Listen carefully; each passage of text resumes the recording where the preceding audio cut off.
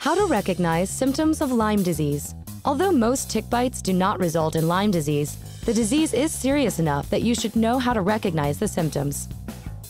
You will need a tick bite, a small red bump, a rash, flu-like symptoms, joint pain and swelling, long-term complications, and a doctor. Optional, eye inflammation, hepatitis, and severe fatigue. Step 1. Look for a small red bump at the site of a tick bite within a few days to a month of being bitten. The bump will be followed by a bullseye-shaped rash with a red center surrounded by a clear area and outer ring. Step 2. Be on the alert for flu-like symptoms, such as chills, fever, fatigue, body aches, and headaches accompanying the rash.